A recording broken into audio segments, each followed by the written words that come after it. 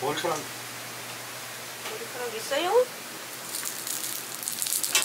내놔 내놔 이거 하나만 놔둬. 내놔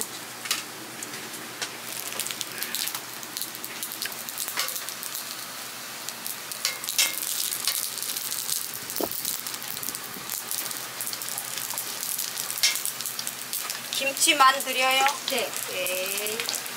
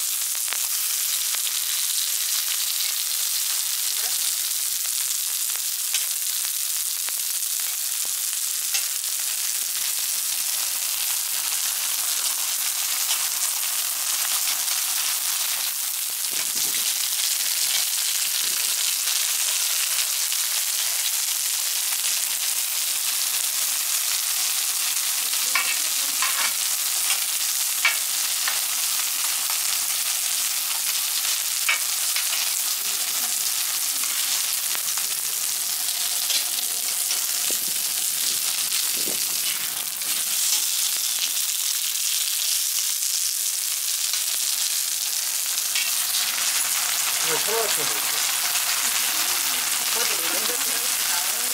대박만 넣어